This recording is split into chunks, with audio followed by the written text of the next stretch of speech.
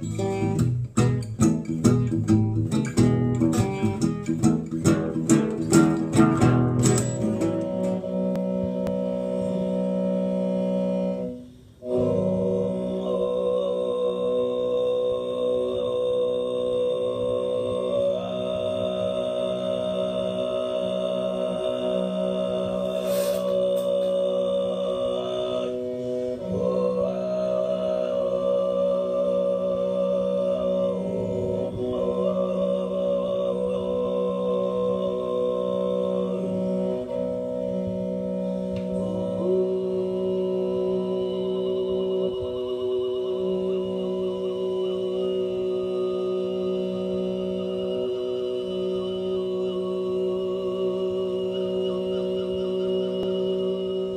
how you doing?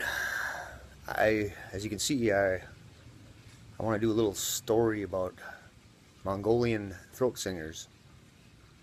This guy's interesting, isn't he?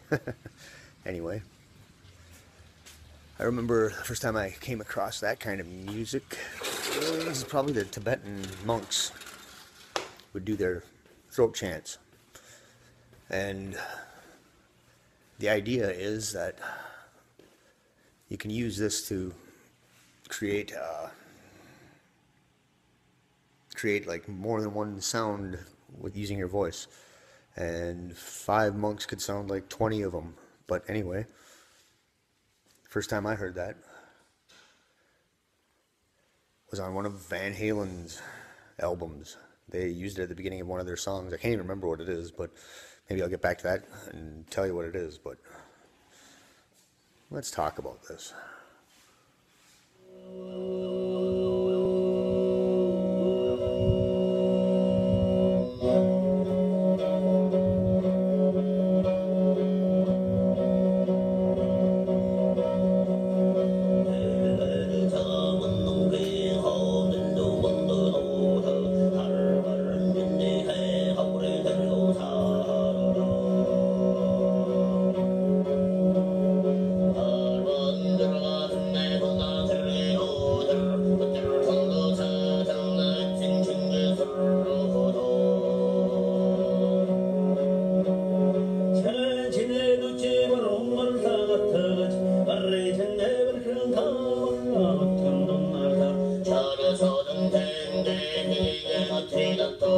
赛罗奥特曼戴季血魔菲尼古拉戴季血魔菲